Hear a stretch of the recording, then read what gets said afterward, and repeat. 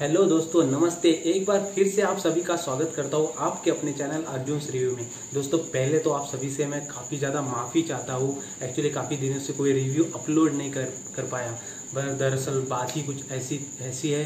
आ, मुझे बेटा हुआ है and blessed with baby boy तो उसके साथ टाइम बिताना और घर काफ़ी छोटा होने की वजह से थोड़ा बहुत एडजस्ट नहीं हो पाया कुछ मंथ्स के लिए। तो उसके लिए माफ़ी चाहता हूँ दोस्तों बट अब से आपको कंप्लीट रिव्यूज़ मिलते जाएँगे। जैसे कि हम लोग देखते हैं कि लॉकडाउन का समय है, घर में ही टाइम बिताना है। अब ऐसा तो नहीं है कि हर किसी के पास में नेटफ्लिक्स का सब्सक्रिप्शन होगा या फिर जो भी अमेजोन प्राइम है सबका सब्सक्रिप्शन होगा। तो मैं ट्राई करूँगा कि यूट्यूब पर जो भी अच्छे अच्छे मूवीज़ अवेलेबल है, जो कि टाइम कंज्यूमिंग है और आप नहीं चाहते हो कि इतना ज़्यादा आप टाइम उस पर खर्च करो और मूवी अच्छी अगर नहीं निकली तो बहुत ज़्यादा जान पे आता है, मैं समझ सकता हूँ। तो इसी बात का एक सोल्यूशन लेके मैं आपके साथ आया हूँ।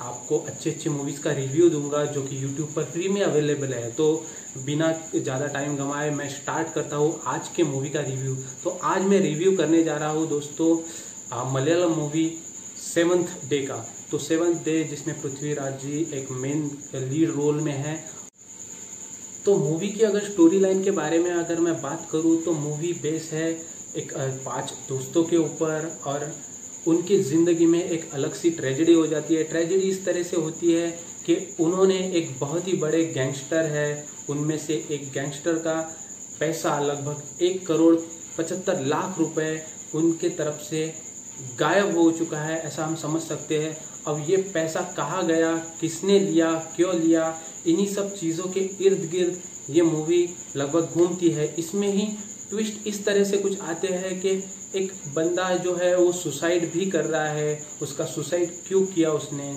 उसी के साथ साथ कुछ बॉडीज है जो कि गायब भी हो चुकी है। वो सब क्या हुआ? और यहाँ की जो स्टोरी लाइन स्टार्ट होती है, वो ऐसा होता है कि पृथ्वीराज जी जो है, वो एक क्लब से निकलते हुए रास्ते से जाते हुए है और उनकी टक्कर हो जाती है। एक बाइक सवार दो लोगों से, जो कि दो दोस्त हैं, उनसे टक्कर उनकी हो जाती है थोड़ा सा एक्सीडेंट हो जाता है और वहाँ से पृथ्वीराज जी उन लोगों को जो दोनों दोस्त हैं, उनको हॉस्पिटल में लेके जाते हैं। वहाँ से जो वो दूसरा दोस्त है, जिसको चोट आई थी, वो गायब हो जाता है। अब वो गायब क्यों हो गया, क्यों भाग गया? वहीं से न्यूज़ आती है कि उसने सुसाइड भी कर लिया। अब उसने सुसाइड क्यों किया? अब वहाँ पे जाके जो दूसरा बंदा है, उन दोनों दोस्तों में से जो दूसरा है, उसको पता चलता है कि पृथ्वीराज जी जो है, वो है पुलिस क्राइम ब्रांच से रिलेटेड एक ऑफिसर, जो कि फ़िलहाल की डेट में सस्पेंडेड है, बट क्राइम ब्रांच से रिलेटेड एक बहुत बड़े ऑफिसर है। तो इस तरह से पृथ्वीराज जी अपने हाथ में उस केस को ले लेते हैं और उसको सॉल्व करते जाते हैं। हर जगह पर जाते हैं जहाँ से इन सब चीज़ों का कनेक्शन होता हो उस जो बंदा भाग गया है, जिसका सुसाइड किया है, ऐसा बाद में ध्यान में आया है, उस बंदे के रिलेटेड इन्फॉर्मेशन निकालते हैं।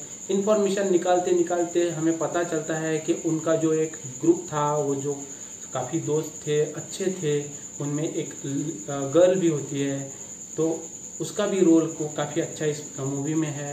अब इन दोस्तों में अचानक से एक जो जिसने सुसाइड किया, ऐसा हमें पता चलता है तो उसके एक शॉप में, कंप्यूटर शॉप में लगभग एक करोड़ पचहत्तर लाख रुपए होते हैं, जो कि गायब हो जाते हैं। अब वो पैसे वहाँ पे आए कैसे? अगर आए तो फिर गायब हुए कैसे? कहाँ गए पैसे? और इसने सुसाइड क्यों किया?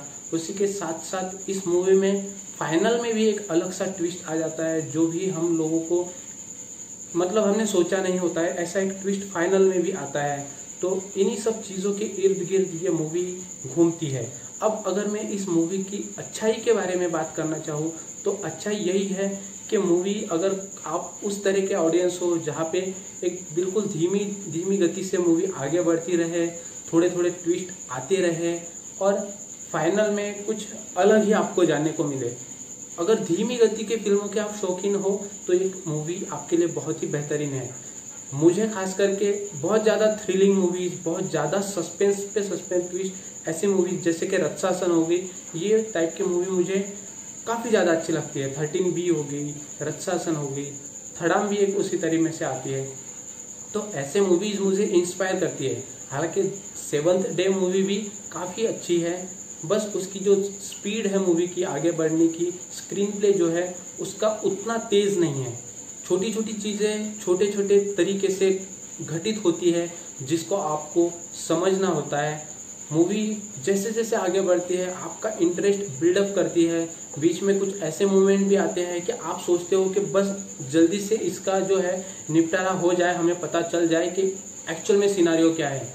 और फाइनली मूवी उस लेवल पर पहुँचती है, जो टर्न्स और जो ट्विस्ट आपने एक्सपेक्ट नहीं किए हैं। तो इस तरह की एक मूवी है, जहाँ पर आप दो घंटा स्पेंड कर सकते हो अगर आप सस्पेंस थ्रिलर मूवीज़ के शौकीन हो। मूवी में कोई सॉन्ग नहीं है जो मूवी का बैकग्राउंड म्यूज़िक है उस वो मुझे कुछ ज़्यादा इंस्पायर नहीं किया बैकग्राउंड म्यूज़िक ने। हालाँकि पृथ्वीराज जी की जो एक्टिंग है वो बहुत ही बेहतरीन है। साथ में जो नए कैरेक्टर्स है जो पाँच दोस्त है उनकी भी एक्टिंग ठीक ठाक सी है। उन्होंने कुछ खासा निराश नहीं किया है। मूवी में जो आ, हम कह सकते हैं कि बैकग्राउंड है जो भी दिखाया गया है सिचुएशंस दिखाए गए लोकेशंस दिखाए गए हैं, वो ठीक ठाक है मूवी में कुछ ज़्यादा ऐड नहीं करती है। मूवी देखने में काफ़ी अच्छी लगती है, कुछ ज़्यादा कैरेक्टर्स इस मूवी में है नहीं गिने चुने पाँच से सात कैरेक्टर है, उन्हीं के बीच ये मूवी घूमती रहती है। मैं फाइनली ये कहना चाहूँगा कि धीमी गति से जाने वाली मूवीज़ साथ ही में थोड़े बहुत ट्विस्ट एंड टर्न्स के साथ अगर आपको ऐसी मूवीज़ देखने में अच्छा लगता हो तो ये मूवी आप एक बार ज़रूर देख सकते हो। ये दो घंटा आपको हालाँकि ज़्यादा बोर नहीं करेंगे। तो दोस्तों, फिर से एक बार थैंक यू सो मच मुझसे जुड़े रहने के लिए, इतना साथ देने के लिए। प्लीज़ चैनल को सब्सक्राइब कीजिए। मैं ऐसे ही रिव्यूज़ को आपके तरफ़ लाता रहूँगा और आपका टाइम सेव करता रहूँगा, क्योंकि मैं ज़्यादातर रिव्यूज़ जो है, वो यूट्यूब से ही लाता हूँ। तो यूट्यूब की अच्छी अच्छी मूवीज़ को मैं आपके पास लाता रहूँगा। तो थैंक यू सो मच दोस्तों। Have a great day safe रही है, सेफ़ रहिए और अपने परिवार को भी सेफ़ रखिए, घर में रहिए। Thank you so much have a good day bye bye